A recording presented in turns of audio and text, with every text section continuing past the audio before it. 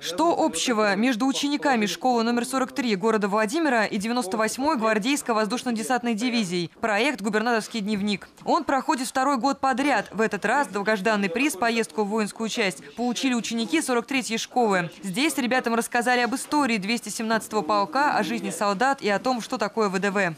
Десантные войска, они вообще по своему предназначению призваны парашютным способом быть доставленными на территорию противника или каким-то иным, там, по- посадочным.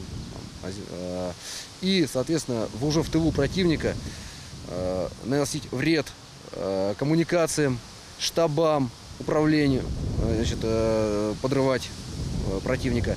Во время экскурсии по воинской части ребятам показали оружие, которое сегодня использует наша армия. Дали примерить костюм химической защиты и экипировку десантников, парашютную систему, защитный шлем и жилет. Сами рядовые говорят, носить на себе 20-килограммовый костюм несложно. Главное – удачно приземлиться.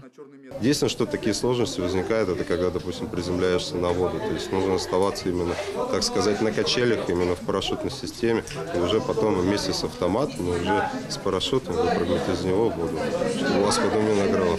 Много интересного ждало ребят и за пределами здания. На территории части школьникам продемонстрировали, как работает дымовая шашка, а затем разрешили изучить боевые машины, что называется вдоль и поперек. Отбоя от желающих залезть внутрь военной техники не было. Наибольший интерес вызвала вот как работает дымовая шашка, нам показали. Я этого еще не видел. А, историю тоже нам рассказали. Мне понравилось. Ну, и в принципе вообще все очень даже хорошо. Губернаторский дневник – это совместный проект журналистов «Комсомольской правды», компании «Генериум», администрации области и, конечно, 98-й гвардейской дивизии ВДВ. Суть акции такова. Тот класс, в котором больше всего отличников, отправляется на экскурсию в воинскую часть. Причем мероприятие традиционно проходит в мае и приурочено к празднованию победы в Великой Отечественной войне. Так что эти ребята на протяжении полугода были лучшими среди школьников нашей области. Они сами узнали об этом конкурсе, они сами принесли газеты. И вот э, моя функция только заключалась в том, чтобы им выставить эти оценки в листочке. И они себя, каждый друг друга э, ориентировали на то, что пятерок должно быть больше, как можно больше.